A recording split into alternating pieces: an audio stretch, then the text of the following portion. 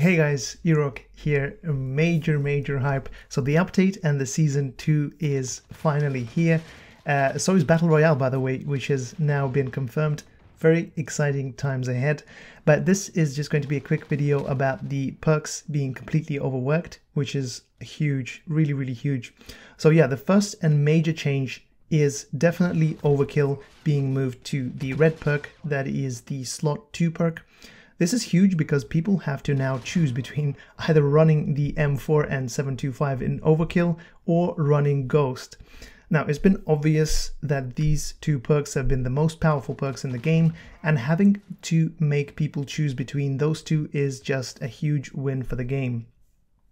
Next up, for EOD, the hacking ability has been removed and instead added to the spotter perk.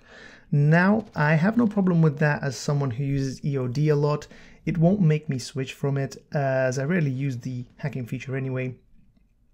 Moving on, Quick Fix has also been slightly buffed uh, and they have reduced the health regeneration delay.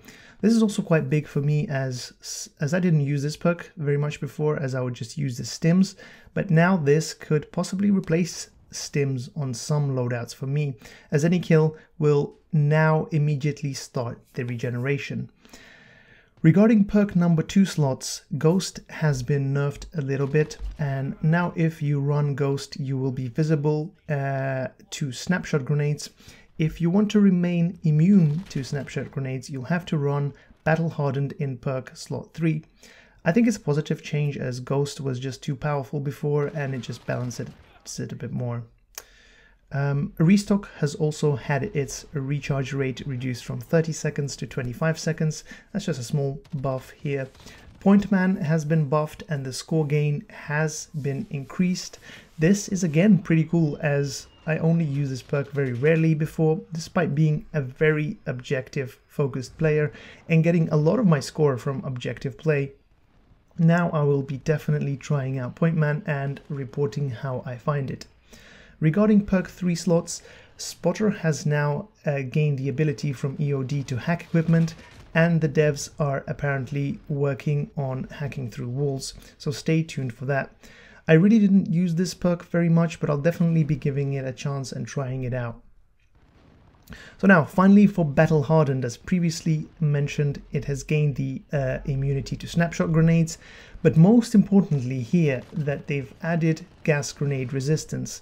So now, if you run this perk, you will no longer be coughing every time someone throws a gas grenade. Now, this is huge, I don't have to tell you, but uh, before people used to um, run the gas grenade on shipment and just shut down the enemy team with no counter uh, besides them equipping the gas grenade and basically doing the same back. Uh, but then it just degenerates into who can throw the gas grenade faster. So this is a much needed fix and finally the gas grenade spam will be stopped. So anyway, that's just a quick update on the perk rebalancing situation. I'm excited to check the rest of the update out, so do make sure to subscribe if you haven't. But I really appreciate you watching this video and bye for now.